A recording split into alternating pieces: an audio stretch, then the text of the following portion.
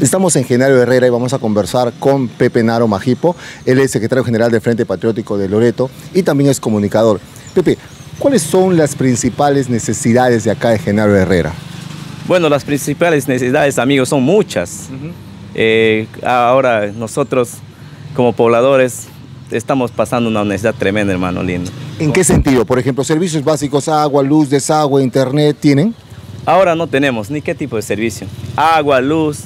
Eh, la luz quizás por el electrooriente, ¿no? Pero el agua no. Ha quedado paralizado un proyecto de 11 millones de soles, el proyecto de agua, agua y desagüe para General Herrera. ¿Hace cuánto tiempo? En el tiempo de Iván Vázquez Valera, cuando el señor, eh, en ese entonces exalcalde Javier Navarro López, que está ahora prófugo o, ahorita no ha habido este señor, que eh, está ahorita, amigos, realmente es para nosotros preocupante.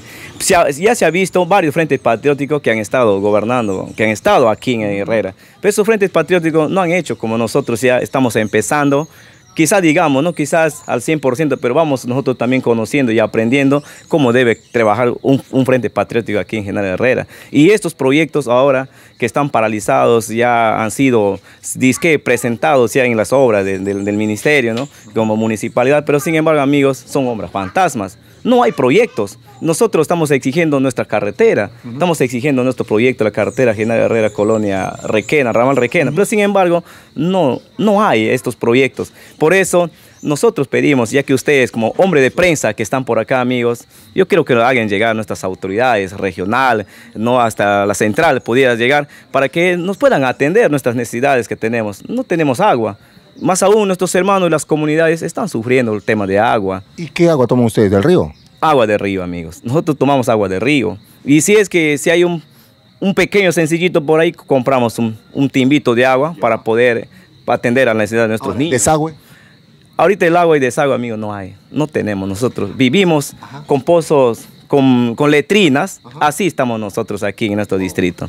Eh, que hace poco ha cumplido 70 años. Hace poco han celebrado a lo grande el presupuesto que debería atender a sus necesidades del poblador, le están celebrando en fiestas, le están celebrando en, tantas cosas que ni, debería, ni debería bueno, tocarse estos casos. Han traído orquestas, los funcionarios han celebrado, sus regidores han celebrado de esta municipalidad, amigo. Y para nosotros es algo preocupante.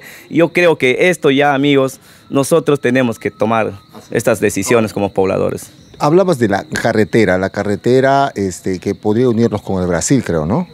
Exactamente, la carretera Genaro Herrera, Colonia Angamo, está en un aproximado de, de 97 kilómetros aproximado, hasta de Herrera hasta Colonia Angamos. ¿Está, ¿Está esa carretera construida? Está en la carretera. Ahorita no está construida la carretera, está todavía para, para, para hacer para hacer desbroce, para hacer mantenimiento, pero hay un presupuesto esto, solo, pero no está para de Herrera hasta Angamos, sino solamente está el proyecto. Cuando el gobierno regional o la municipalidad de General Herrera tiene que topar la puerta del gobierno regional, Ministerio de Transporte, recién da el, gobierno regional un presupuesto a la municipalidad para que puedan hacer este mantenimiento. Y para eso hay un presupuesto. Pero, a ver, eh, eh, cuando me hablas de carretera, ¿me hablas de trocha carrozable o yo una carretera de concreto que, digamos, este, 96 kilómetros. ¿Es un proyecto, es una idea? ¿Todavía no se ha ejecutado nada de esa carretera? O sea, ¿no hay ni un kilómetro construido? No hay ni un kilómetro construido. solamente es así nomás este, para ir a desbrozar. Solamente está carrozable esto. Solamente no hay puente, no hay nada. Solamente está como está, ustedes mismos lo están escuchando, de mi, de mi, de mi propio sentimiento como poblador, como morador de este pueblo. Y nosotros estamos viendo, esperando pues que nuestras autoridades o las próximas autoridades o el, gobernador René Chávez nos puedan atender nuestras necesidades de la carretera.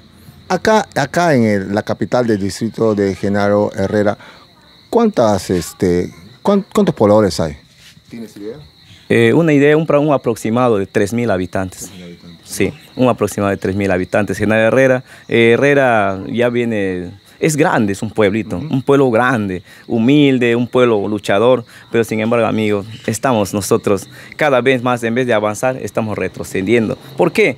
Por nuestras malas autoridades que nos están llevando a la ruina de, nuestra, en este distrito. Gracias. Este, muchas gracias, amigos.